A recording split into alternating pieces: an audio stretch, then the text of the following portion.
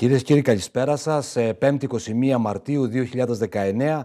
Είμαστε και απόψε ζωντανά κοντά σας, μαζί σας, με την εκπομπή 60 λεπτά στην Ήπεθρο από το κανάλι του Νότου. Ε, από το Νότος TV στη μάχη της ενημέρωσης για τους ανθρώπους που παράγουν.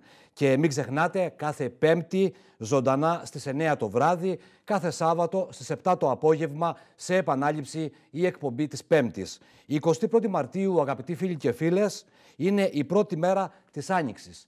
Αλλά παράλληλα έχει ανακηρυχθεί και ως Παγκόσμια ημέρα δασοπονίας για να φέρει τον άνθρωπο πιο κοντά στο δάσος. Το δάσος που καλύπτει το 25% της επιφάνειας της γης και είναι ζωτικής σημασίας για την επιβίωση του ανθρώπου, αλλά και κάθε ζωντανού οργανισμού πάνω στον πολύπαθο πλανήτη μας.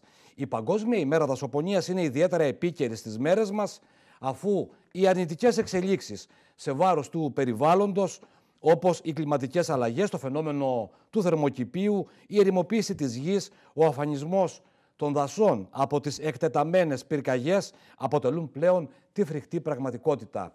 Στην Ελλάδα τα δάση βρίσκονται στο έλεος των φυσικών καταστροφών, των καταπατητών και της ανεξέλεγκτης, ε, και της ανεξέλεγκτης εκμετάλλευσης των πόρων τους.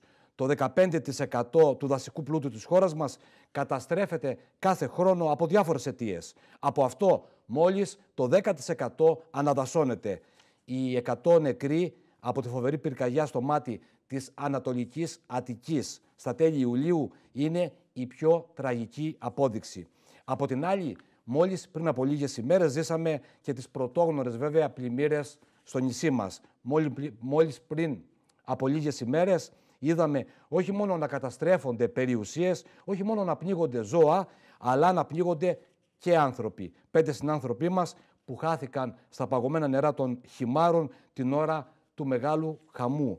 Αυτά που βλέπαμε δηλαδή να συμβαίνουν μακριά από τη χώρα μας, τώρα τα ζούμε και στην Κρήτη. Γι' αυτό το δεύτερο μέρος της απόψινής μας ε, εκπομπής είναι αφιερωμένο στην τεράστια σημασία της μεσογειακής βλάστησης, στην τεράστια σημασία που έχουν ε, τα δέντρα ως όπλο στα χέρια του ανθρώπου για να μπορέσει να αντιμετωπίσει την κλιματική αλλαγή με όσο το δυνατόν λιγότερες συνέπειες. Συγκεκριμένα θα σας προβάλλουμε σε δύο αποσπάσματα τη συνέντευξη που παραχώρησε στην εκπομπή 60 λεπτά στην Ήπεθρο η συντονίστρια της αποκεντρωμένης διοίκησης Κρήτης, η δασολόγος Μαρία Κοζιράκη. Μια ενδιαφέρουσα συνέντευξη που θα σας προβάλλουμε λίγα λεπτά μετά τις 9.30. Αλλά στο σημείο αυτό, αγαπητοί φίλοι και φίλες, ας επανέλθουμε στις τεράστιες καταστροφές που υπέστησαν αγρότες και κτηνοτρόφοι σε ολόκληρη την Κρήτη και κυρίως βέβαια στον νομό Χανίων. Σήμερα οι εκτιμήσεις των ζημιών μόλις σήμερα ολοκληρώθηκαν. Ο επόπτης του ΕΛΓΑ στην Κρήτη, κτηνίατρος Κώστας Ψαρουδάκης, σήμερα το μεσημέρι αποκάλυψε στην εκπομπή μας τα τελικά στοιχεία των εκτιμήσεων για τις ζημιές που υπέστησαν οι κτηνοτρόφοι, κυρίως οι κτηνοτρόφοι σε ολόκληρο το νησί. Με τις σημαντικότερες βέβαια εξ αυτών να καταγράφονται στο νομό Χανίων. Συγκεκριμένα, σε ολόκληρη την Κρήτη έχουν δηλώσει απώλειες στα εγωπρόβατά τους 210 κτηνοτρόφοι. Από αυτούς οι 12 με 15 είναι στους νομούς Ηρακλείου και Λασιθίου, περίπου 40 κτηνοτρόφοι είναι στο νομό Ρεθύμνου και όλοι οι υπόλοιποι κτηνοτρόφοι που έπαθαν ζημιές από τα πλημμυρικά φαινόμενα του Φεβρουαρίου προέρχονται από το νομό Χανίων. Βέβαια, όπως μας εξήγησε ο γνωστός κτηνίατρος, ο γνωστός επιστήμονας, οι περισσότερες καταστροφές έχουν σχέση με τη μείωση της γαλακτοπαραγωγής λόγω του στρες των ζώων, αλλά και τις υποδομές των κτηνοτρόφων, ε, ε, αλλά όπως, όπως επίσης ε, ε, και καταστροφές που είχαμε στους δρόμους, που κυριολεκτικά μετατράπηκαν σε ποτάμια, αλλά βέβαια και στους στάβλους, ε, πολλοί, πολλοί από τους οποίους στάβλους σε, εξαφανίστηκαν ε, ως διαμαγείας από τα ορμητικά νερά των χυμάρων και των ποταμών. Ωστόσο, ο ΕΛΓΑ αποζημιώνει τα ζώα, τα υπόλοιπα όμως, όπως είναι γνωστό, υπάγονται στα χρονοβόρα ψέα. Επίσης, ο κτηνίατος του ΕΛΓΑ στην Κρήτη σημείωσε ότι μετά από περίπου ένα μήνα οι κτηνοτρόφοι αναμένεται να αρχίσουν να λαμβάνουν μαζικά πορίσματα στους δήμους τους. Από εκεί και πέρα ο χρόνος για την πληρωμή τους είναι περίπου άλλος ένας μήνας, κάτι βεβαίως το οποίο θα εξαρτηθεί και από τις διαδικασίες σε κεντρικό επίπεδο. Να αλλάξουμε θέμα, α, μάλλον να παραμείνουμε στο θέμα των καταστροφών και να προσθέσουμε κάτι πάρα πολύ σημαντικό, ότι ο Υπουργός Αγροτικής Ανάπτυξης και Τροφίμων, Σταύρος Αραχοβίτης, ανακοίνωσε επίσημα ότι θα καταβληθεί για τους εγωπροβατοτρόφους του νομού Χανίων, συγκεκριμένα κατονόμασε το νομό Χανίων, το ποσό των 2 εκατομμυρίων ευρώ από το πρόγραμμα ίσονος σημασίας. Στο μεταξύ, κυρίες και κύριοι, ειδικό νόμο, ειδικό νόμο για τη ρύθμιση των δανείων 110.000 κτηνοτροφικών εκμεταλλεύσεων σε όλες τις τράπεζες, γιατί δεν μπορούν πλέον να ανταποκριθούν στις υποχρεώσεις τους, ζητάμε ανακοίνωσή του ο Σύνδεσμος Ελληνικής Κτηνοτροφίας. Μεταξύ άλλων, ο σύνδεσμος επισημαίνει κανένα στάβλος ή κτηνοτροφική εκμετάλλευση και κανένα σπίτι κτηνοτρόφου να μην μπορεί να εκποιηθεί. Επιπλέον, κάνει γνωστό ότι προτίθεται να ετοιμάσει συγκεκριμένη και ολοκληρωμένη πρόταση για ίδρυση διεπαγγελματικής ή άλλων φορέων στήριξης και προώθησης και για τα υπόλοιπα τυριά της χώρας, όπως είναι η Γραβιέρα Κρήτης.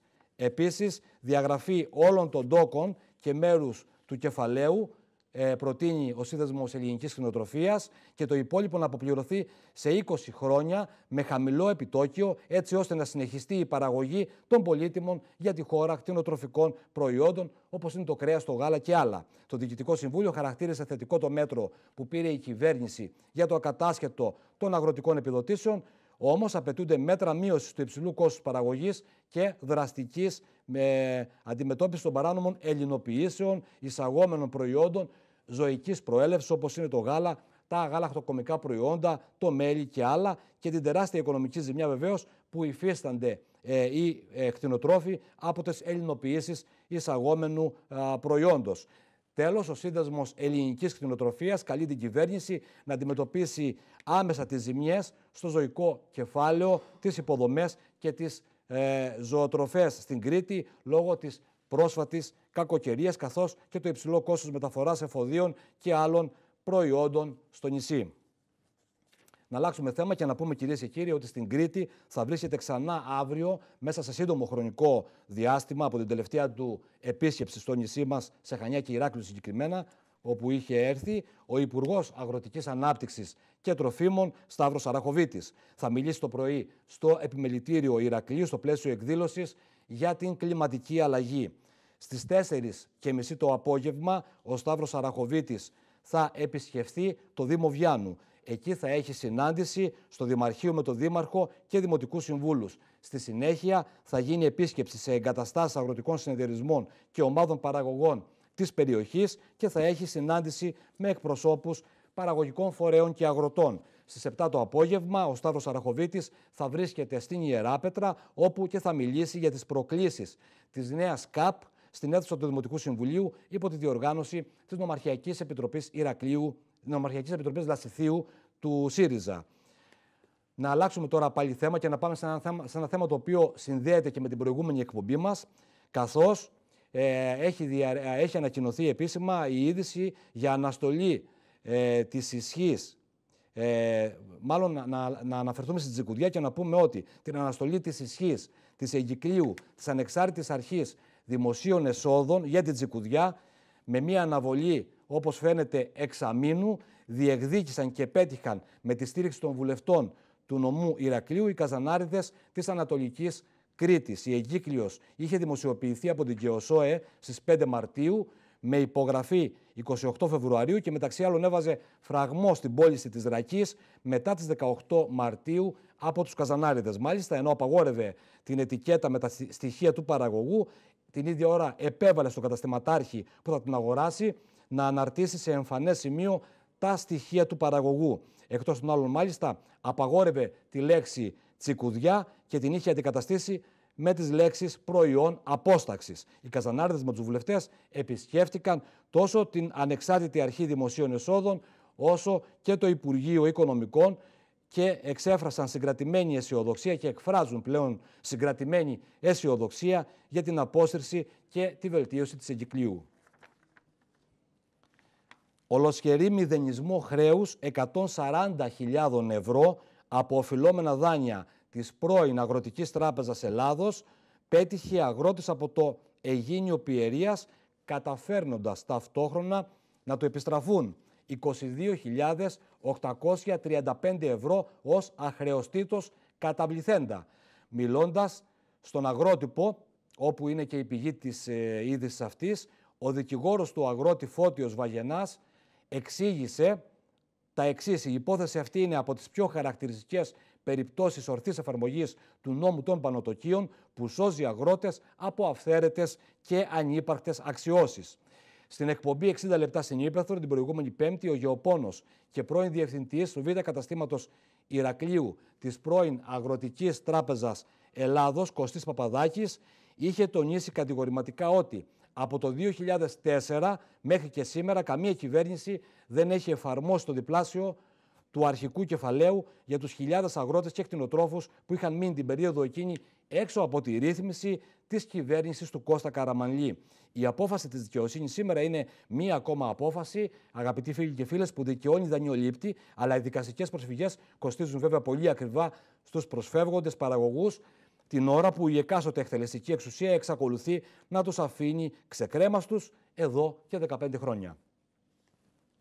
Και πάμε στο σημείο αυτό, κυρίες και κύριοι, να συνδεθούμε μέσω Skype με τον μετεωρολόγο, περιβαλλοντολόγο, διευθυντή κλιματολογίας εφαρμογών της Εθνικής Μετεωρολογικής Υπηρεσίας και εκπρόσωπο της χώρας μας στον Παγκόσμιο Μετεωρολογικό Οργανισμό στον τομέα του κλίματος και της κλιματικής αλλαγής, Νίκο Καραταράκη. Νίκο, καλησπέρα. Καλησπέρα Χριστόφορε, καλησπέρα στους φίλους και τις φίλες τηλεθεατές και τηλεθεάτριες. Να είσαι καλά. Νίκο, σε ευχαριστώ για άλλη μια φορά και σε αυτή τη δεύτερη εκπομπή που κάνουμε μαζί για την ανταπόκρισή σου και να ξεκινήσω με μια έρευνα που δημοσιεύτηκε Νίκο αυτή την εβδομάδα και υποστηρίζει ότι οι, ότι οι ωκεανοί του κόσμου απορροφούν περίπου το 90% της πλεονάζουσας ενέργειας που προκαλούν οι εκπομπές αερίων θερμοκηπίου. Αυτό σημαίνει ότι το μεγαλύτερο μέρος της υπερθέρμανσης του πλανήτη βυθίζεται στους ωκεανούς του, αυξάνοντας τις θερμοκρασίες και προκαλώντας αύξηση της στάθμης της θάλασσας παγκοσμίως. Η ομάδα επιστημόνων του Βρετανικού Guardian υπολόγισε τους αριθμούς με έναν διαφορετικό ε, μετρικό τρόπο για να μας δώσει να το καταλάβουμε ακόμα καλύτερα. Η κλιματική αλλαγή κατέληξε έχει θερμάνει τους ωκεανούς τόσο ώστε αυτό ισοδυναμεί με μια έκρηξη ατομικής βόμβας ανά δευτερόλεπτο για τα τελευταία 150 χρόνια. Είναι υπερβολικά όλα αυτά. Νίκο Καραταράκη, θέλω ένα σχόλιο από τη μεριά σου. Εντάξει, αυτό είναι έτσι μια σχηματική, θα λέγαμε, ε, αποτύπωση, αν θέλετε, της κλιματικής ε, αλλαγής. Είναι γνωστό ότι οι ωκεανοί παίζουν αυτόν τον ρόλο που αποθηκεύουν κατά κάποιο τρόπο έτσι μεγάλες ε, ποσότητες των αερίων του θερμοκηπίου και του διοξιδίου του, του άνθρακα. Αυτό ακριβώς το, έτσι, το, το παράδειγμα ε, ε με αυτόν, αυτόν τον τρόπο, έτσι, τον δραματικό θα έλεγα εντός ή εκτός ε, εισαγωγικών, ε, θέλει να, να δώσει κανένας, να δώσουν και οι συντάκτες από το Guardian ε, αυτή την μεγάλη ένταση, αν θέλεις, του φαινομένου του θερμοκηπίου, το οποίο μην ξεχνάμε ότι είχε τη μεγαλύτερη ένταση τις τρεις τελευταίες δεκαετίες του 20ου αιώνα και συνεχίστηκε και στις ε, πρώτες δεκαετίες ε, του 21ου αιώνα, Χριστόφορε. Μιας και σήμερα, ε, Νίκο, είναι η Παγκόσμια ημέρα δασοπονίας, ε, θα ήθελα έτσι από τη μεριά σου να μας ε, πεις ποιο θα ήταν το μήνυμα που θα ήθελες να στείλεις ε, προς πάσα κατεύθυνση. Ναι, εντάξει, καταρχήν είναι η Παγκόσμια ημέρα της δασοπονίας, είναι τα δάση μας τα οποία ε, μας δίνουν το, το οξυγόνο που χρειαζόμαστε. Ε, είναι πολύ σημαντικό να προστατεύουμε τα, τα δάση μας και όχι να τα καίμε. Ε, βεβαίως ε, σε αυτό το τομέα χρειάζεται πολύ μεγάλη προσπάθεια και από την πολιτεία. Ε, σήμερα μάλιστα πηγαίνω σε ένα άλλο θέμα βέβαια, αλλά επειδή μίλησα για την πολιτική προστασία, είχαμε μια ημερίδα στην Λέσχη Εξωματικών Ενόπλων Δυνάμεων στην Αθήνα, όπου την οργάνωσε η Εθνική Μετρολογική Υπηρεσία, που βέβαια το θέμα ήταν ε, ακραία καιρικά φαινόμενα και έγκυρες και έγκυρες προειδοποίησεις, όπου ήταν ε, ο Γενικός Γραμματέας της Πολιτικής Προστασίας, όπου πραγματικά ε, υπόθηκε, θυμάσαι που είχε πει ο Πρωθυπουργός με αφορμή ε, τις τεράστιες φωτιές και τα τόσα θύματα που είχαμε στο μάτι, ότι θα γίνει κάποια αλλαγή του θεσμικού πλαισίου που αφορά τη Γενική Γραμματεία Πολιτικής Προστασίας και εκεί ο Γενικός Γραμματέας παρουσίασε αυτή την Εθνική Αρχή Πολιτικής Προστασίας όπου βέβαια ένα σημαντικό κομμάτι είναι το θέμα της προστασίας των δασών και το θέμα που έχουν να κάνει με τις πυρκαγιές. Το θέμα λοιπόν της σημερινής ημερίδας ήταν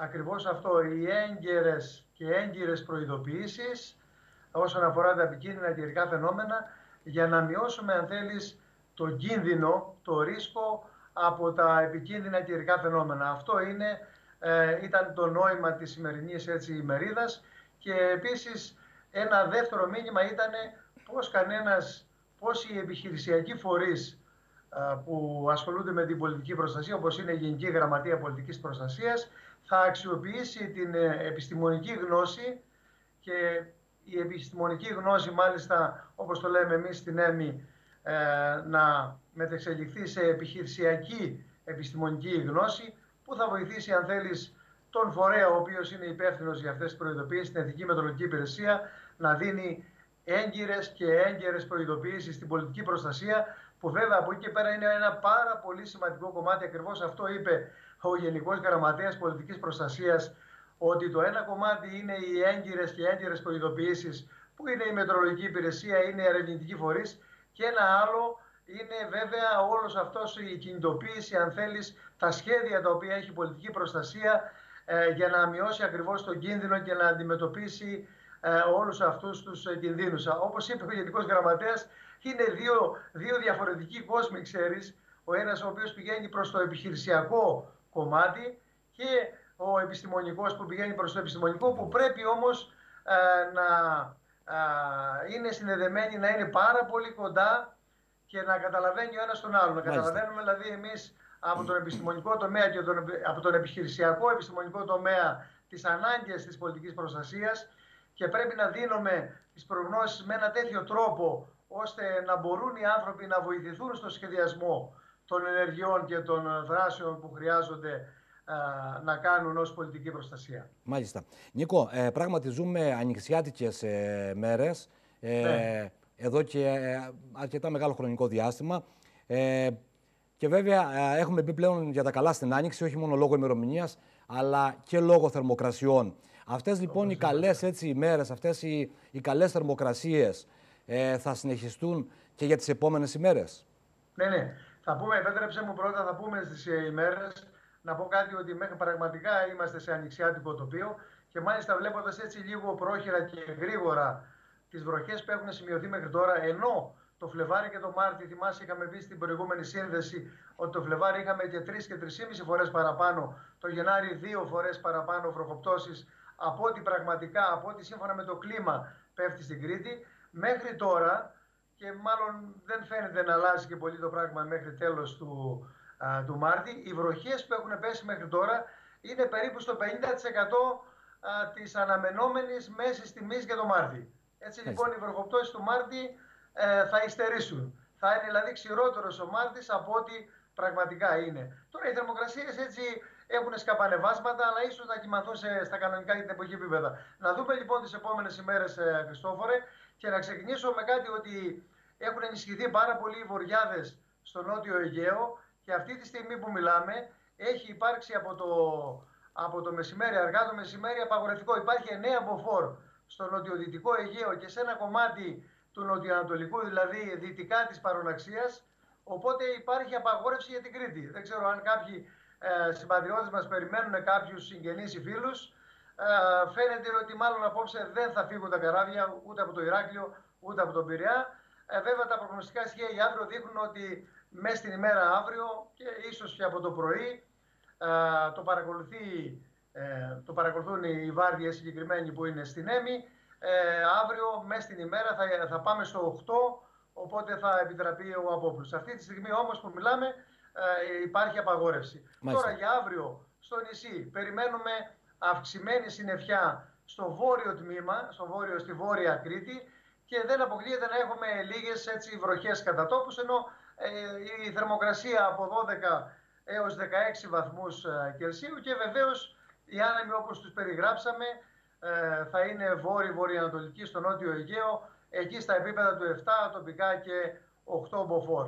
Πάμε τώρα στο, στο Σάββατο, όπου περιμένουμε τοπική συννεφιά στη Βόρεια Κρήτη. Η Νότια Κρήτη ε, λιγότερα σύννεφα και περισσότερο ήλιο.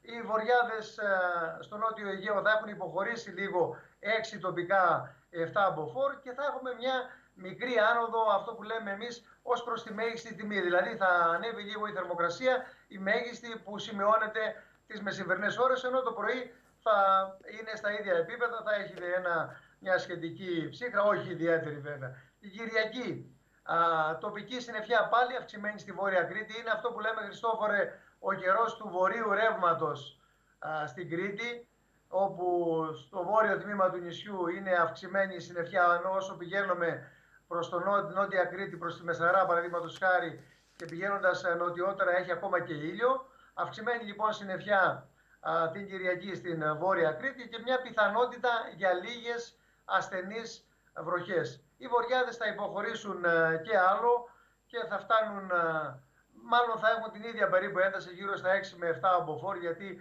έχει έτσι ένα φρεσκάρισμα ο καιρός την Κυριακή. Η θερμοκρασία ε, μια μικρή πτώση, αλλά όχι σημαντική. Μπορεί να πει κανένας ότι θα κοιμαθεί και στα ίδια, στα ίδια επίπεδα με το Σάββατο. Τη Δευτέρα τώρα που είναι η εθνική γιορτή δεν αναμένουμε μια σημαντική μεταβολή του καιρού. Η συννεφιά πάλι θα, λόγω του βοριά θα είναι αυξημένη ε, στην ε, Βόρεια Κρήτη αλλά χωρίς όμως φαινόμενα. Οι βοριάδες τώρα πραγματικά την Δευτέρα 25 Μάρτη θα υποχωρήσουν θα έχουμε υποχώρηση της έντασης και τοπικά θα έχουμε 6 μποφόρ και μια μικρή άνοδο της θερμοκρασίας ως προς τις μέγιστες τιμές. Τώρα την Τρίτη και την ε, Τετάρτη ε, θα έχουμε λίγη συννεφιά στην ε, Κρήτη. Ξέρεις για την υπόλοιπη Ελλάδα είναι αυτό που θα έχουμε από εδώ και πέρα την Άνοιξη όπου το μεσημέρι και το απόγευμα θα έχουμε αυξημένη συννεφιά στα υπηρετικά και θα έχουμε κάποιες μπόρες στην υπηρετική Ελλάδα. Στην Κρήτη δεν περιμένουμε ε, κάτι τέτοιο. Οι βοριάδες ε, θα είναι στην Κρήτη γύρω στα 4 μποφόρ, 4 με 5 μποφόρ και στο Αιγαίο, στο Νότιο Αιγαίο για όσους ταξιδέψουν 6. Δεν αναμένονται μεγαλύτερη ένταση των ε, ανέμων και το θερμόμετρο θα ανέβει λίγο περισσότερο την Τρίτη. Μάλιστα. Ε, Νίκο, ακούγαμε καθ' όλη τη διάρκεια των έντονων βροχοπτώσεων που βιώσαμε εδώ στο νησί Ακούγαμε έτσι σχόλια διάφορα από τον κόσμο ε, ότι ε, όπως ε, υπάρχει μια πληροφόρηση, εν πάση περιπτώσει, ε, αν θέλεις φημολογία, αν θέλεις κάποιες πληροφορίες που προέρχονται από τους Αμερικανούς λέει, επιστήμονες, ότι γενικότερα φέτος ε, θα έχουμε και άλλες βροχές μέχρι ας πούμε και το καλοκαίρι, έτσι. Πολλά λέγονται για τη φετινή χρονιά. Ναι, ναι. μπορούμε από τώρα να πούμε κάτι τέτοιο; Υπάρχουν κάποια έτσι δεδομένα επιστημονικά; Ναι, ναι. Χριστόφορε, δεν, δεν έχω δει κάτι σχετικό εγώ.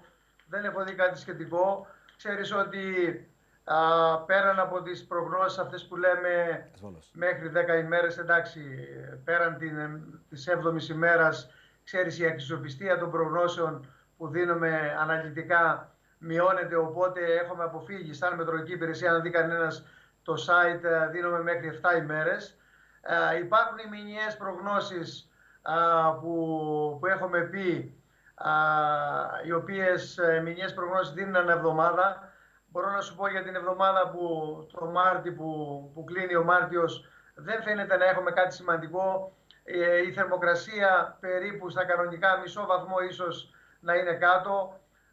Οι βροχοπτώσεις δεν δίνει, κάτι, δεν δίνει κάτι ιδιαίτερο αυτό το προγνωστικό μοντέλο και υπάρχει τώρα μετά υπάρχουν οι λεγόμενες εποχικές προγνώσεις δεν ξέρω τώρα, την άλλη φορά που είχαμε μιλήσει, εγώ θα ήθελα να έχω την επιστημονική πηγή απευθείας.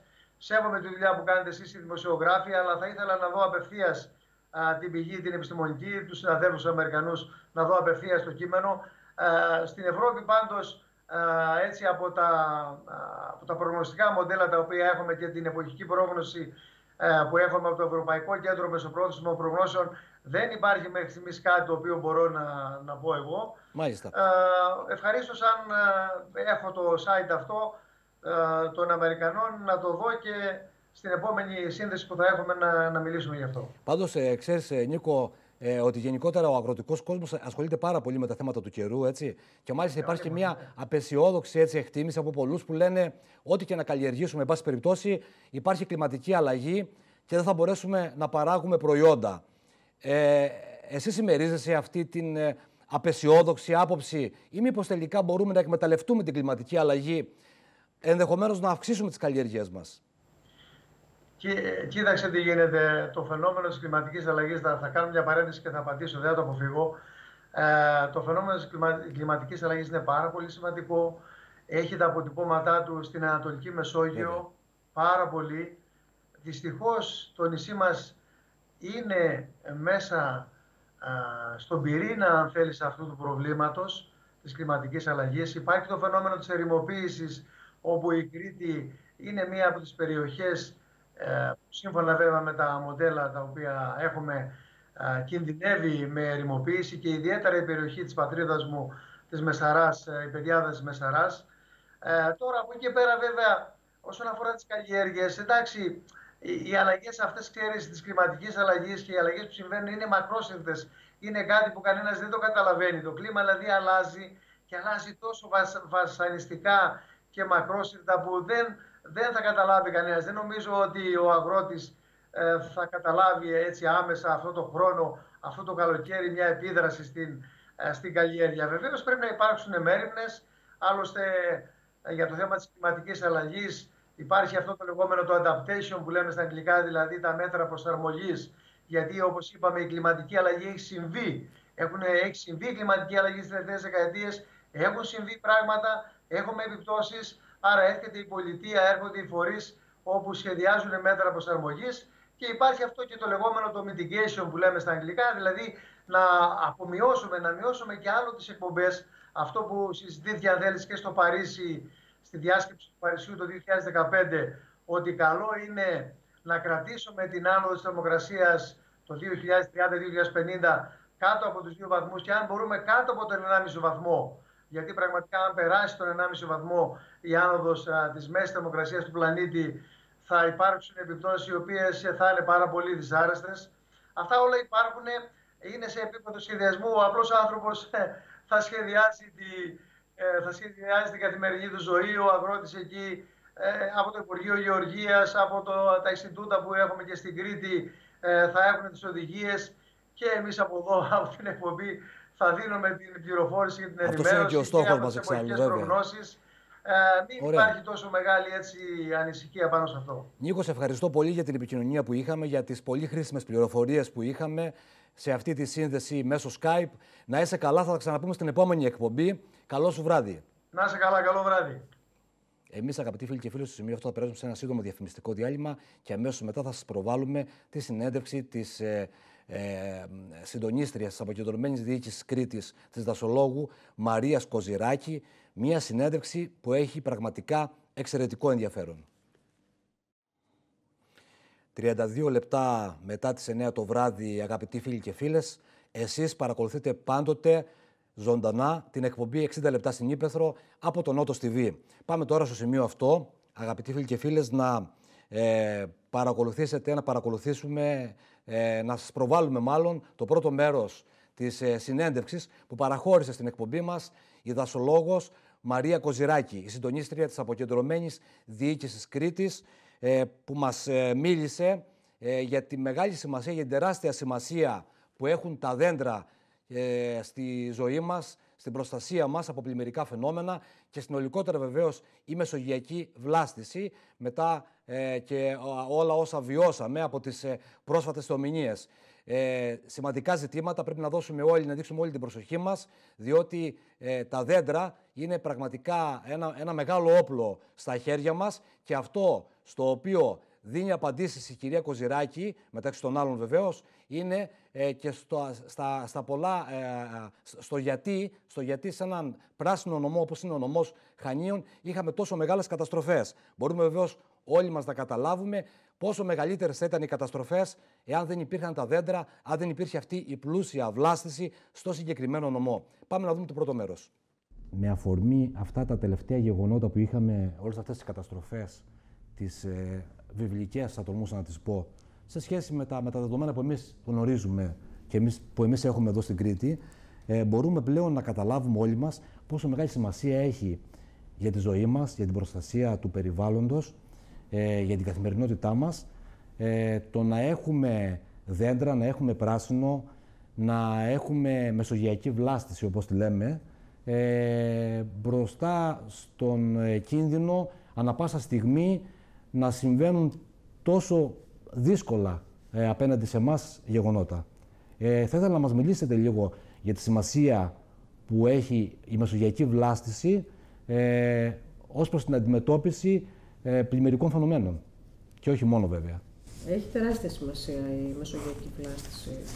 Ε, το θέμα της, ε, κατα, των καταπατήσεων και των εκχερσώσεων θεωρώ ότι έχει με, μεγεθύνει τις συνέπειες αυτών των πλημμυρικών φαινομένων που συνέβησαν σε όλη την Κρήτη και κυρίως στη Δυτική ε, Κρήτη. Ε, είναι θέματα τα οποία δεν λάβαμε σοβαρά υπόψη μας μέχρι τώρα ή θεωρήσαμε ότι δεν θα δημιουργούσαν τόσο φοβερό πρόβλημα. Και τα τελευταία χρόνια όπου είναι κάτι χειροπιαστό, είναι κάτι απτό η κλιματική αλλαγή, γιατί βλέπουμε ότι συμβαίνει τόσο έντονα φαινόμενα με μεγάλη παροδικότητα και με τέτοια ένταση, μπορούμε πλέον νομίζω ότι πολύ υποχειροπιαστά και κατανοητά να καταλάβουμε ότι αυτό που έχουμε προκαλέσει εμείς στη φύση πάρα πολύ υπεροπτικά και αλαζονικά ε, έχει λειτουργήσει εναντίον μας με λέω, όπως λέω, η φύση δεν εκδικείται, απλώς ε, καταφέρει να βρει τις ισορροπίες της με κάθε δυνατό ε, τρόπο. Αν το, ο δρόμος έχει διανυκτεί μέσα σε ένα ρέμα, ο δρόμος θα λειτουργήσει ως ρέμα σε ένα τέτοιο φαινόμενο. Άρα προσπαθεί, προσπαθεί ουσιαστικά η φύση να επιβιώσει. Η φύση θα βρει να λειτουργήσει με τους δικούς της κανόνες και τις τάσεις ισορροπίας που έχει. Να, ακριβώς... Επειδή συνηθίζουμε να λέμε η φύση εκδικείται, είναι κάτι το οποίο νομίζω ότι ε, δεν είναι δίκαιο να το λέμε, γιατί εμείς οι ίδιοι ουσιαστικά είναι σαν να εκδικούμαστε τη φύση. Ε, σε ό,τι αφορά δηλαδή τη συμπεριφορά μας απέναντι στη φύση, ε, ίσως από, την οποία συμπεριφορά ε, προέρχεται και η κλιματική αλλαγή ναι, σε, ένα, σε ένα μεγάλο βαθμό. Ναι, απλά ε, δεν ξέρουμε ότι όλα αυτά γίνονται ε, εις βάρος μας ή θεωρούμε ότι είναι κάτι πολύ μακροπρόθεσμο και αλότριο και δεν θα το ζήσουμε εμείς ή δεν θα, δεν θα συμβεί έτσι. Είναι αυτή η υπερεκτίμηση των ανθρώπινων δυνατοτήτων έναντι της φύσης που το βλέπουμε ότι δεν ισχύει σε καμία περίπτωση. Ε, μέχρι τώρα ξέραμε την ένταση, τι συμβαίνει με τη φωτιά ή με τους σεισμούς. Τώρα βλέπουμε έντονα στη φύση το θέμα των ε, έντονων βροχοπτώσεων και των, ε, και των πλημμυρών. Ε, ένα θέμα σε σχέση με τη βλάστηση που καταδεικνύεται είναι ότι αυτά τα πλημμυρικά φαινόμενα η ένταση που συμβαίνουν και η ποσότητα της στερεοπαροχής που φέρουν από τα ανάντι των λεκανών απορροής, που στις περισσότερες περιπτώσεις καταδεικνύουν ότι έχουν συμβεί πράγματα εκεί, δηλαδή είτε καταπατήσεις, είτε εκχερσώσεις, είτε η αποψήλωση, η αφαίρεση αυτής της βλάστησης, έτσι ώστε ένα πολύ δυνατό φαινόμενο ε, θα, θα παρασύρει μαζί του μεγάλη ποσότητα από πέτρες, από έδαφος ή ό,τι τέλος πάντων συναντήσει μπροστά του. Δεν θα μπορέσει κάτι άλλο να συγκρατήσει αυτά τα φερτά υλικά όπως λέγονται, τα οποία στη συνέχεια θα έρθουν και μαζί με το νερό θα παρασύρουν και θα φράξουν δρόμους, ρέματα και θα καταλήξουν στη θάλασσα. Ε, και βέβαια μιλάμε για... βρισκόμαστε σε ένα νησί το οποίο ε, δεν, ε, ουσιαστικά ε, έχει προβλήματα σε ό,τι αφορά τη βλάστηση. Ε, υπάρχει υπερβόσχηση, υπάρχουν διάφορα φαινόμενα ε, και είδαμε να συμβαίνουν ε, τόσο τραγικές καταστάσεις σε ένα νομό όπως, όπως το νομό Χανίων, ε, ο οποίος σε σχέση με την υπόλοιπη Κρήτη έχει βλάστηση. Έτσι δεν είναι; Ναι, έχει, ε, έχει πολύ ψηλή βλάστηση. Τα Χανιά έχουν περισσότερο την έννοια του δάσους, όπως το αντιλαμβανόμαστε και το, και το καταλαβαίνουμε εμείς, υψηλό δάσος, με μεγάλα δέντρα, τα οποία σε κάθε περίπτωση όμως δεν είναι αυτά που θα παρέχουν την καλύτερη δυνατή προστασία του εδάφους έναντι της συνολικότερης φυτοκάλυψης με άλλα είδη, όπως λέμε, σαν οικοσύστημα από θαμνώδη και ε, χαμηλά, χαμηλή, χαμηλή βλάστηση, η οποία καταφέρει να συγκρατήσει το σύνολο του εδάφους και όχι μόνο μέσω του ριζικού, σύστημα, το ριζικού συστήματος των, των υψηλών δέντρων. Υπάρχει μια περίπτωση που εντοπίσαμε πρόσφατα, την κατέδειξε και ο ίδιος ο Δήμαρχος Φεστούς στα Πηγαϊδάκια, όπου από μια πολύ μεγάλη εκχέρσωση τέτοιες φύση ως βλάστησης. Δεν υπάρχει δασικό οικοσύστημα με την έννοια των υψηλών δέντρων, αλλά περισσότερο μια μακία βλάστηση εκεί. Εκχερσώθηκε στα ανάντι του χωριού, σε ένα ύψωμα πάνω από το χωριό, με αποτέλεσμα τις τελευταίες βροχοπτώσεις είχαμε πλημμύρα στο χωριό και πολύ μεγάλη μεταφορά λάσπης και φερτών υλικών εντός του, εντός του οικισμού, το οποίο προκλήθηκε καθαρά από την αφαίρεση της βλάστησης και την εκχέρσωση που συνέβη στο ύψωμα πάνω από το χωριό. Μάλιστα. Ε, επειδή ε, η Κρήτη σε ένα πολύ μεγάλο μέρος της ε, είναι καλυμμένη από ελαιόδεντρα. Έχουμε εκατομμύρια ελαιόδεντρα στην Κρήτη. Ε, αυτά ως δέντρα ε, μας προστατεύουν από τέτοιους φαινόμενα. Δηλαδή το, η, η ελιά ως δέντρο μπορεί να, να παίξει ένα σημαντικό ρόλο ε, για τη στη συγκράτηση του εδάφους.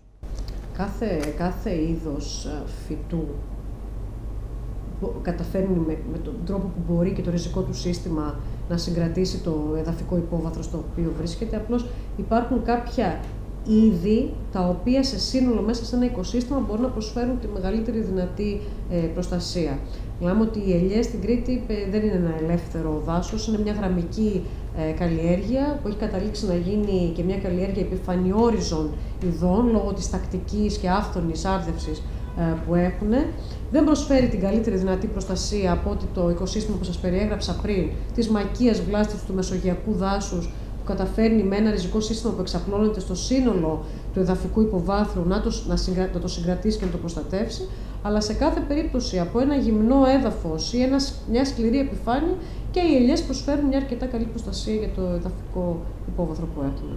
Μπορούμε να, να μιλήσουμε λίγο, να δούμε ποια είναι τα δέντρα εκείνα τα οποία ε, ευδοκιμούν στο νησί μας και τα οποία θα μπορούσαμε να έχουμε, να καλλιεργούμε ε, για να μπορέσουμε να, να προστατεύσουμε τα εδάφη μας από τέτοιου είδους ας πούμε, αποκατολιστήσεις ε, και από τόσο δυσάρεστα φαινόμενα που βιώσαμε το τελευταίο διάστημα.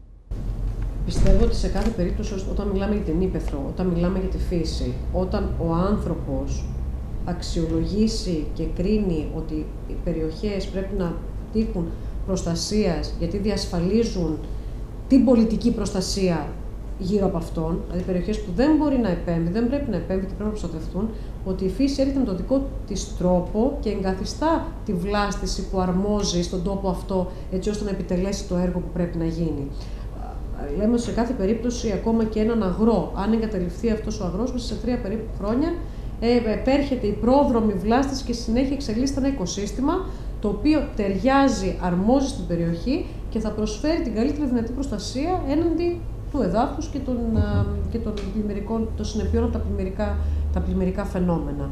Θεωρώ δηλαδή ότι δεν, το, το σπουδαίο, το σημαντικό δεν είναι να πούμε ποια είδη προκρίνονται και εκτυχάνουν τις καλύτερες δυνατής προστασίας, αλλά ότι ποιες είναι αυτές οι περιοχές που θα πρέπει για τον λόγο ότι, ότι η προστασία τους διασφαλίζει την προστασία οικισμών, υποδομών και της ανθρώπινης ζωής, να προστατευτούν αυστηρά, να μην υπάρχει καμία ανθρώπινη παρέμβαση, έτσι ώστε να μπορέσει η φύση να κάνει ακριβώς τη δουλειά της και να προασπίσει με τον καλύτερο δυνατό τρόπο το έδαφος και την ανθρώπινη ζωή ε, στη συνέχεια. Θεωρώ ότι η φύση μπορεί να το κάνει αυτό με τον καλύτερο δυνατό τρόπο. Ε, τα μεσογειακά οικοσυστήματα είναι συστήματα τα οποία προσφέρουν πολύ καλή προστασία ε, όπως οφείλει να είναι, ότι ο, ο άνθρωπος παρεμβαίνει δεν μπορεί να παρέμβει τόσο επιτυχημένο όσο το κάνει η ίδια η φύση και όπως ως δασολόγος εκφράζω και λέω ότι η φυσική αναγέννηση ενός τόπου, η δυνατότητα η φύση ίδια να έρθει να αποκαταστήσει το πρόβλημα, δίνει το καλύτερο δυνατό αποτέλεσμα σε σχέση με την ανθρώπινη παρέμβαση και σε σχέση με μια τεχνητή αναδάσωση. Η φυσική αναγέννηση, αν της επιτραπεί να συμβεί, θα προσφέρει την καλύτερη δυνατή προστασία σε έναν τόπο. Αλήθεια όμως, οι ίδιοι αγρότες μπορούν κάτι να κάνουν ώστε να μην απογυμνώνουν τα εδάφη των καλλιεργιών τους, να καλλιεργούν δηλαδή με συγκεκριμένο τρόπο, αποφεύγοντας ας πούμε τα οργώματα. Για να δούμε λοιπόν σε αυτό το ερώτημα, όπως και σε άλλα ερωτήματα, τι μας απάντησε η δασολόγος Μαρία Κοζηράκη στο δεύτερο μέρος της ενδιαφέρουσας συνέντευξης που παραχώρησε στην εκπομπή μας. Δεν πάβει ε, να υπάρχει και ε, η, η υπερεκμετάλλευση τέλος πάντων της, ε, των εδαφών, της γης. Ε, αυτό το να βάζουμε ένα τραχτέρ να οργώνουμε τα χωράφια μας ε, κάθε χρόνο ενδεχομένως, γιατί υπάρχει αυτή η άποψη αυτό να δημιουργεί πρόβλημα. Ε, μήπως δεν θα πρέπει και ο αγρότης να αρχίσει να το βλέπει λίγο ε, πιο οικολογικά, ας μου επιτραπεί η έκφραση, ε, ε, σε ό,τι αφορά τον τρόπο με τον οποίο, με τον οποίο καλλιεργεί ε, τις ελιές του, ε, τα αμπέλια του κτλ. Δηλαδή υπάρχει μια άποψη που λέει ας πούμε ότι καλύτερα να μην σκάβουμε, ε, να μην σκάβουμε όσο μπορούμε να αποφεύγουμε ή να μειώνουμε τα οργώματα. Τα οργώματα, όπως ως γνωστόν, ε, διευκολύνουν εντός εισαγωγικών ε, τη βροχή, το νερό να, να, να, δημιουργήσει πρόβλημα, να, να προκαλέσει ε, καταστροφή. Ε, σε, σε ποιο βαθμό ο ίδιος ο αγρότης μπορεί να συμβάλλει ε, ούτως ώστε να προστατεύσουμε τα εδάφη μας; Μέσα από την καλλιέργεια. Θεωρώ ότι σε κάθε περίπτωση η, η, Κρήτη είναι ένα μικροπεριβάλλον. Είναι, ε, έχουμε εκτάσεις όπου οι αγρότες έχουν, μικρού, έχουν μικρούς κλήρους, μικρές καλλιέργειες, μικρές ποσότητες παραγόμενων, ε, παραγόμενων προϊόντων. Ε, το στίχημα είναι ό,τι συνέβαινε, συνέβαινε παλιότερα. Ότι η, η δραστηριοποίηση γίνεται μέσα σε ένα φυσικό περιβάλλον, μικροπεριβάλλον κιόλας και, και όχι σε ένα τεχνητό περιβάλλον. Οπότε ο αγρότης πρέπει να, να λαμβάνει υπόψη του όλα αυτά που τα έκαναν οι πρόγονοί του. Δηλαδή τόσο το κλίμα, τις αναλλαγές του, τη γεωμορφολογία, το ανάγλυφο, το έδαφος.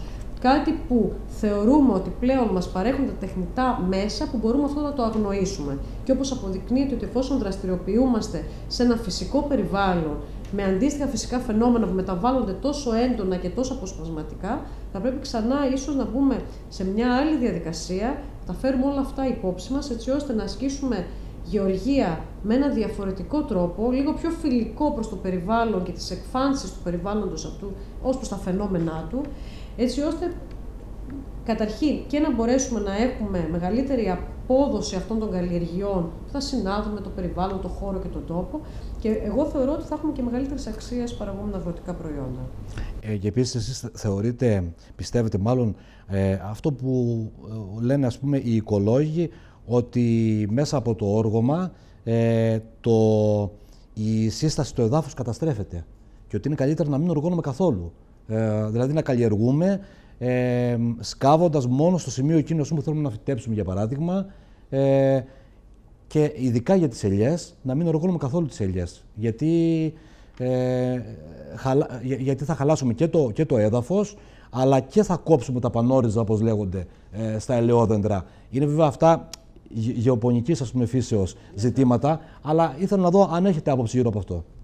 Ε, έχω άποψη σε σχέση με την άρρωση και όσον αφορά κυρίως τη γεωμορφολογία του, mm του εδάφους. Σε κάθε περίπτωση τέτοιες επεμβάσεις πάνω σε εντονότερο γεωμορφολογικό ανάγλυφο επιτείνουν τόσο την απόπληση των εδαφών, την καταστροφή του, του τοπίου και ουσιαστικά και κάποια στιγμή ε, σε τέτοια φυσικά φαινόμενα θα έχουμε και ολόκληρες καλλιέργειες να καθιζάνουν και να φεύγουν από, από ένα απότομο πρανές με τον ίδιο ακριβώς τρόπο.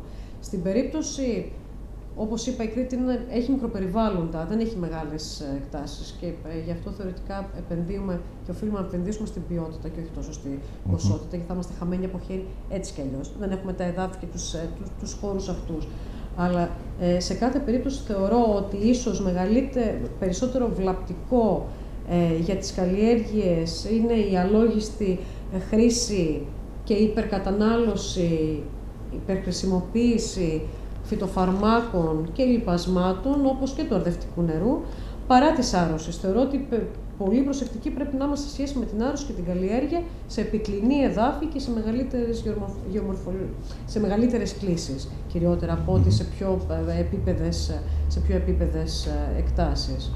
Ε, όσον αφορά, και αυτό έχει να κάνει κυρίως όσο αντιλαμβάνομαι και γνωρίζω σε σχέση με την απόπληση κυρίως των ε, εδαφών και όχι με την μείωση της αξίας των παραγόμενων προϊόντων ή και της καλλιέργειας λόγω της άρρωσης. Ε, μια τελευταία ερώτηση θα σας κάνω σε ό,τι αφορά το, τα, φαινόμενα που, τα, τα φαινόμενα των καταπατήσεων, τα φαινόμενα των παρανομιών, ε, των παράνομων δραστηριοτήτων που δυστυχώς ε, υπάρχουν και στο νησί μας. Ε, ήθελα να μου περιγράψετε λίγο αυτά τα φαινόμενα, δηλαδή ε, ε, σε, σχέση με την ενημέρωση που εσείς έχετε, γύρω από τα φαινόμενα αυτά των καταπατήσεων, των, ε, των μπαζωμάτων, δηλαδή της ανθρώπινης αρνητικής παρέμβασης σε βάρος του περιβάλλοντος. και μάλιστα μια παρέμβαση που ε, αντί ας πούμε να μας, να μας διδάξει ότι εμείς ευθυνόμαστε ε, για την κατάσταση αυτή, ε, να φτάνουμε στο σημείο να βγαίνουμε και από πάνω και να λέμε ότι η φύση εκδικείται. Έτσι. Ε, γενικότερα στην Ελλάδα και δει στην Κρήτη, ίσως έχει να κάνει και με το γεγονός ότι πολύ συχνά δεν τιμωρούνται ούτε οι καταπατητές, ούτε αυτοί που χερσώνουν, ούτε αυτοί που προκαλούν τα, προκαλούν τα προβλήματα. Ε, τα, τα προβλήματα είναι μεγάλα. Είναι μεγάλα και έχουν καταφανεί μέχρι τώρα κυρίως στον παραθαλάσσιο χώρο, που έχουμε μεγαλύτερη αξία της γης, λόγω του τουρισμού, των ξενοδοχείων και των μεγαλύτερων πόλεων και οικισμών που βρίσκονται πάνω σε αυτό το, πάνω σε αυτό το μέτωπο. Ε, αλλά επίσης υπάρχουν και η ενδοχώρα, υπάρχουν και εκτάσεις στα, στον ορεινό όγκο, στα ρέματα, όπου ακόμα τα προβλήματα δεν έχουν στοιχειοθετηθεί. Θέλω να αναφέρω ότι, για παράδειγμα, στην Κρήτη δεν έχουμε κανένα πρωτόκολλο κατεδάφισης εντός ρέματος. Δηλαδή, μια αρμόδια υπηρεσία δεν έχει καταδείξει και δεν έχει εκδώσει μια απόφαση για κατεδάφιση, καταπάτηση αυθαίρετου κτίσματος μέσα σε ένα τέτοιο χώρο. Ουσιαστικά έχουμε στραφεί όλοι προς το, προς το ε, βόρειο άξονα, προς τις παρεθαλάσσιες εκτάσεις ή μέσα, στους, μέσα στον πολεοδομικό ιστό. Θεωρώ ότι όλα αυτά τα τόσο έντονα φυσικά φαινόμενα, αυτά, τα καιρικά φαινόμενα τα οποία οδηγούν πλέον ότι η πραγματικότητά μας από εδώ και στο εξής θα είναι αυτή. Δηλαδή θα υπάρχουν χρονιές έντονης ε, ξηρασίας ή έντονων πλημμυρικών φαινομένων, έντονων ε, ανέμων, έντονα φαινόμενα προσωρινά. Αυτή θα είναι η κατάσταση από εδώ και στο εξής. Οπότε, σε κάθε περίπτωση θα πρέπει να μάθουμε ότι οποιαδήποτε ενέργειά μας στην Ήπεθρο αλόγιστη και χωρίς σχεδιασμό και οργάνωση, αποσπασματική και να μην συνάδει με άλλες ενέργειες στον υπόλοιπο χώρο, θα πρέπει να υποστούμε τις συνέπειες που θα φέρει αυτή, ε, αυτή η, η, πράξη. Και αυτό έχει φανεί, γιατί ε, όπως σας είπα η αποκεντρωμένη, η αποκεντρωμένη διοίκηση και οι υπηρεσίες της το κυριότερο μέλημα που έχουν από εδώ και στο εξής να δουν και να άρουν ως προς τις συνέπειες είναι ότι τι έχει προκληθεί στα ρέματα και στον ορεινό όγκο και στα ανάντι των λεκανών απορροής που έχει δώσει τόσο μεγάλης έντασης συνέπειες προς τον, προς τον παιδινό χώρο και προς τα κατάντι των, των περιοχών αυτών. Να ευχαριστήσω λοιπόν και δημόσια για άλλη μια φορά την κυρία Μαρία Κοζηράκη για αυτή την ενδιαφέρουσα συνέντευξη. Το μήνυμα βεβαίως το οποίο προκύπτει μέσα από τέτοιου είδους συζητήσεις είναι ότι η μεσογειακή βλάστηση, τα δέντρα είναι το μεγάλο μας όπλο. Φυτέψτε λοιπόν δέντρα όπου μπορείτε, στο σπίτι, στα σπίτια σας, στους κήπους σας, οπουδήποτε. Γιατί δεν έχουμε κι άλλο σύμμαχο. Βεβαίως δεν φτάνει μόνο αυτό, θα πρέπει και εμείς οι ίδιοι να προσέχουμε, να μην κάνουμε καταπατήσεις, να μην κάνουμε αυθαιρεσίες, γιατί τα δέντρα από μόνα τους δεν επαρκούν. Να πάμε όμως τώρα αγαπητοί φίλοι και φίλες στην άλλη άκρη της τηλεφωνικής μας γραμμής, όπου βρίσκεται ο γεωπόνος και πρόεδρος του Αγροτικού Συλλόγου Δήμου Ηρακλείου, Δημήτρης Καραβιώτης. Κύριε Καραβιώτη, καλησπέρα σας. Καλησπέρα κύριε Παπαδάκη. Να δείξουμε, θα παρακαλέσω το σκηνοθέτη μας να, να δείξουμε μια φωτογραφία χαρακτηριστική που ε, αποδεικνύει ότι δόξα τω Θεώ οι εχθροί της ελιάς ε, είναι πάρα πολλοί. Πέρα από το δάκο, ας πούμε, που είναι ο πιο γνωστός, εδώ πέρα έχουμε ένα σωρό εχθρούς και ασθένειες της ε, ελιάς ε, που θα πρέπει αυτή την περίοδο η ελοπαραγωγή μας να, τα λάβουν, να λάβουν αυτά τα δεδομένα πολύ σοβαρά υπόψη και να προχωρήσουν στις ε, ανάλογες ε, επεμβάσεις. Ε, θα ήθελα λοιπόν να μας εξηγήσετε κύριε Καραβιώτη, έχουμε ε, διάφορες ασθένειες εδώ, ε, έχουμε την καρκίνωση, καπνιά, λιχίνες και έχουμε και ξυλοφάγα έντομα. Να κάνουμε λοιπόν μια μικρή περιγραφή για την κάθε περίπτωση.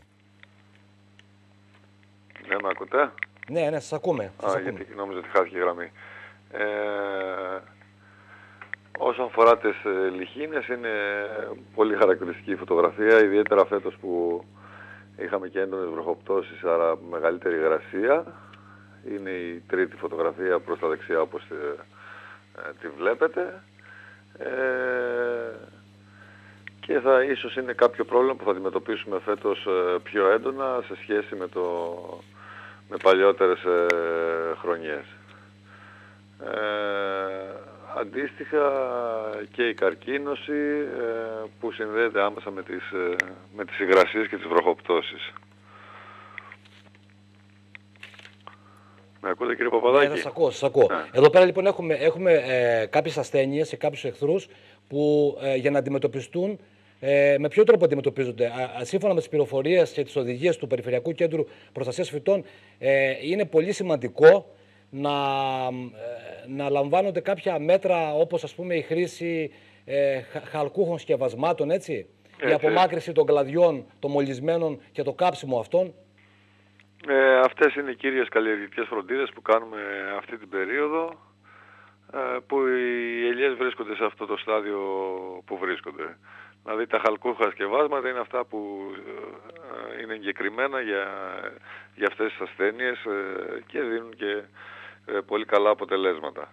Έχουμε και μια νεότερη, έχουμε και μια νεότερη ανακοίνωση από το Περιφερειακό Κέντρο Προστασίας Φυτών ε, και Ποιοτικού Ελέγχου, πάλι για τα ελαιόδεντρα. Σε κάποιες περιοχές έχουμε κυκλοκόνιο, ακάρεα, πυρηνοτρίτη και καλόκορη. Ναι, ε, Πόσο σοβαρές είναι αυτές οι ασθένειες, ε, κύριε Καραβιώτη. Ε, και η καλόκορη και ο πυρηνοτρίτης ε, τα τελευταία χρόνια έχουν εξελιχθεί σε αρκετά σοβαρές δημιουργούν δηλαδή σοβαρές οικονομικές ζημιές. Ε, δίνονται οι, ε, οι ανάλογες οδηγίες με τις γεωργικές προϋποτοποιήσεις που, που στέλνονται. Ε, το σημαντικό είναι να γνωρίζει ο παραγωγός σε ποιο στάδιο βρίσκεται το δέντρο του, σε ποιο πλαστικό στάδιο που λέμε βρίσκεται το δέντρο του, ε, έτσι ώστε να πάρει τα μέτρα του ε, για να μην κάνει και άσκοπη χρήση ε, φυτοπροστατευτικών προϊόντων ή ε, κάποιων άλλων εργασιών που πρέπει να κάνει. Μάλιστα. Ε, Προηγουμένως είχαμε μια συνομιλία, μια σύνδεση μέσω Skype με τον μετεωρολόγο Νίκο Καραταράκη. Μας είπε πολλά πράγματα ο μετεωρολόγος ε, και μας περιέγραψε έτσι κάποιες καιρικές συνθήκες οι οποίες είναι ιδανικές για τους αγρότες. Εσείς θα συνιστούσατε στους αγρότες από τώρα και μετά να προχωρήσουν ας πούμε, στα οργώματα, να προχωρήσουν ίσως και σε κάποιες φυτεύσεις συγκεκριμένων α, ε, καλλιεργιών. Ε, το βασικό για τους, ε, για τους αγρότες είναι το οικονομικό. Δηλαδή ό,τι και να φυτεύσουν ή όποιες διεργασίες και να κάνουν είναι από εκεί να μπορούν να ζουν τις οικογένειές τους ε, και τα λοιπά. Η χρονιά φαίνεται ότι θα είναι καλή, τουλάχιστον όσον αφορά το, το λάδι φέτος. Γι' αυτό και πολλοί ε, παραγωγοί μπήκαν στη διαδικασία να φροντίσουν τα δέντρα τους, να τα λιπάνουν κτλ. κτλ. Ε, όμως αυτό δεν συνδέεται άμεσα και με τη τιμή του λαδιού. Έτσι. Ε, επομένως... Ε, Υπάρχει ενδιαφέρον όμως από τον κόσμο φέτος, έτσι, γιατί περιμένει μια βεντέμα... Περιμένει μια βεντέμα ε, φέτος που λόγω των καιρικών συνδικών περιμέναμε καλύτερη τιμή αφού δεν υπήρχε ε, μεγάλη προσφορά του ε, σε ελαιόλαδο, ε, η τιμή δεν ήταν εκεί που προσδοκούσαν οι περισσότεροι παραγωγοί. Φέτος περιμένουμε να έχουμε βεντέμα, αλλά ξαναλέω αυτό δεν συνδέεται άμεσα με, τη, με το οικονομικό αποτέλεσμα που πρέπει να έχει ο παραγωγός στη, στο τέλος της καλλιεργητικής περίοδου. Και εδώ μου δίνεται και μια καλή πάσα να αναφερθώ και στην άλλη σας ιδιότητα ε, αυτή του Προέδρου του Αγροτικού Συλλόγου Δήμου Ηρακλείου, ένα σύλλογος ο οποίος ανήκει στην Πανελλαδική Επιτροπή των Μπλόκων. Είχατε στο, στο Κιλελέρ μια, ένα συλλαλητήριο, μια συγκέντρωση την προηγούμενη Κυριακή. Ε, έτσι, πολύ σύντομα να μας πείτε ποιες είναι οι αποφάσεις που έχετε πάρει, ε, ενδεχομένως για νέες διεκδικήσεις απέναντι στην κυβέρνηση. Κοιτάξτε, εμείς ε, κάθε χρόνο, καθ' όλη τη διάρκεια της χρονιάς, ε, ε, προσπαθούμε να διεκδικούμε πράγματα με τον έναν ή τον άλλο τρόπο και συνήθως οι αγώνες αυτοί ε, καταλήγουν ε, στο αποκορύφωμά τους εκεί από τέλη Δεκέμβρη, αρχές Γενάρη στη, στα μπλόκα. αυτό θα συνεχίσουμε να κάνουμε. αντιλαμβανόμαστε ότι ε, η κυβέρνηση βρίσκεται εχθρικά απέναντί μας, εχθρικά απέναντι στο αγροτικό κίνημα. Δεν είναι τυχαίο ότι φέτος πριν καν βγουν τα τρακτέρ στους δρόμους ε, έστειλε ο εισαγγελέας ε, εντολή για, για συλλήψεις. Ε, αλλά αυτός είναι ο μοναδικός ε, τρόπος που ε, μπορούμε να διεκδικήσουμε πιστεύουμε τα δίκαια αιτήματά μας απέναντι ε, στην κυβέρνηση που όλα αυτά τα χρόνια στέκεται εχθρικά απέναντί μας. Γιατί τέτοια είναι και η κατάσταση. Δηλαδή δεν υπάρχει κάτι άλλο που μπορούμε να κάνουμε. Βρισκόμαστε σε ένα τέτοιο διέξοδο. Εσείς θα επιδιώξετε κάποια συνάντηση με τον ε, κύριο Αραχοβίτη αύριο που θα είναι ξανά στο Ηράκλειο, μετά θα πάει στη Βιάνων, θα, στη συνέχεια θα πάει στην Ιεράπετρα. Θα έχετε κάποια συνάντηση μαζί του; Όχι, δεν, δεν υπάρχει κάτι τέτοιο. Ο κύριος Αραχοβίτης ε, από, την, από την αρχή που ε, είχαμε ζητήσει όταν ήταν η περίοδο των μπλόκων διάλογο μαζί του είπε ότι δεν υπάρχει λόγος ε, ούτε καν να συζητάμε ότι τα αιτήματά μας είναι δεκτά, ότι οι αγρότες της Ελλάδος είναι ευνοημένοι, καλοπερνάμε όλοι μαζί. Οπότε έχει μια τέτοια αντίληψη ο Υπουργός που δεν έχει κανένα λόγο να, να συζητάμε μαζί του και γι' αυτό άλλωστε κατά τη διάρκεια των μπλόκων ε, ζητήσαμε να συναντηθούμε με ε, κάποιο άλλο ε, μέλος της κυβέρνησης ε, ε, είτε από το Υπουργείο Οικονομικών κτλ. γιατί ο Υπουργός έχει συγκεκριμένη αντίληψη ότι τα αιτήματα των αγροτών έχουν όλα ικανοποιηθεί από αυτή την κυβέρνηση, οπότε δεν υπάρχει λόγος οι αγρότες να αγωνίζονται, να διεκδικούν ή καν να συζητάνε με τον Υπουργό. Θέλω να σας ευχαριστήσω κύριε Καραβιώτη για τη συνομιλία που είχαμε. Να είστε καλά. Να είστε καλά κύριε Καλό σας βράδυ. Επίσης, γεια σας. Στο σημείο αυτό, αγαπητοί φίλοι και φίλες, άλλα 60 λεπτά στην Ήπεθρο από τον Νότο TV ε, ολοκληρώθηκαν. Εμείς θα τα ξαναπούμε την ερχόμενη Πέμπτη σε 9 το βράδυ. Μην ξεχνάτε ότι κάθε Σάββατο στις 7 το απόγευμα είναι η επανάληψη της εκπομπής. Καλή σας νύχτα.